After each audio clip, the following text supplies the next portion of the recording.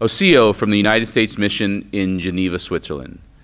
First, let me say how deeply appreciative I am of this great honor uh, from the Cherokee Nation. Particular thanks goes to Principal Chief Bill John Baker, the Deputy Chief, and the entire Cherokee Nation. I'd also like to say thank you to the Tribal Council and to the Chief for its stalwart support of me throughout the confirmation process. When I think of human rights, it reminds me of what Eleanor Roosevelt said, that human rights begin at home, in small places, in your communities. And that's certainly been the case for me.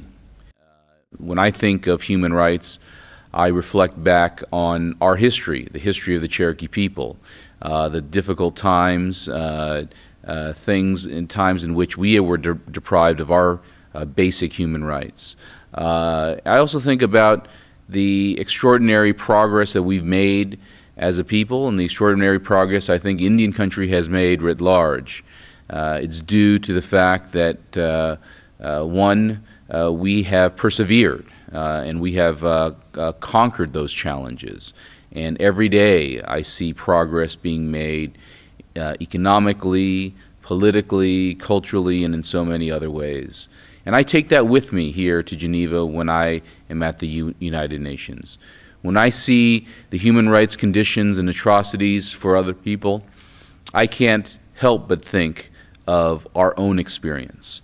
When I think of their overcoming those challenges, again, I can't help but think of our experience. Uh, the difficult times, but the times in which we have made fundamental change.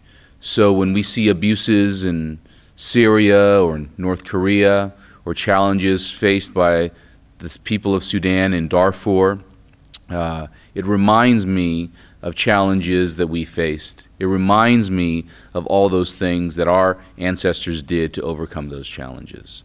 I, one of the issues that uh, is a priority for me is all the issues regarding uh, the rights of women, because what we know is that when we protect our women uh, from violence, when we ensure gender equity, uh, when we ensure access to capital and education for girls, nations do better. They do better politically, socially, and culturally, and certainly economically. Uh, so that is one of my focus, and of course that includes indigenous peoples. And you may know that in the June session, I made a statement regarding the scourge of violence against indigenous women around the world. And certainly the United States has taken some steps, some important steps, uh, through the Violence Against Women Act reauthorization.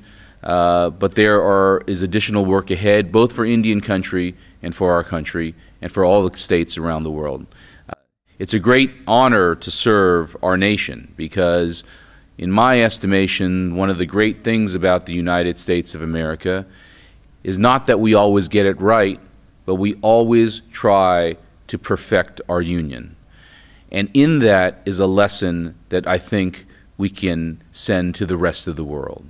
It's a constant call to do better. It's a constant call to uh, uh, protect human rights, uh, protect fundamental freedoms. Let me just close by saying that I am so humbled and pleased with the honor that you have bestowed on me, and I will work every day to earn your pride that you have placed in me. Wado. And I will see you all soon.